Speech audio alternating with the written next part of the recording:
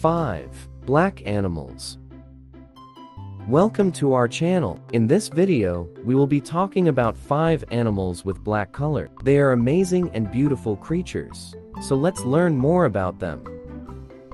Black Panther The Black Panther is a big cat known for its black fur. They are great hunters and can be found in different parts of the world. Black Widow Spider the black widow spider is a venomous spider with a black body and a red hourglass shape on its abdomen. They are found in many places around the world. Black Mamba The black mamba is a venomous snake that is found in Africa. They are fast and one of the deadliest snakes in the world. Black Bear the black bear is a large mammal with black fur. They can be found in North America and are omnivores. Black Swan The black swan is a water bird with black feathers and a red beak.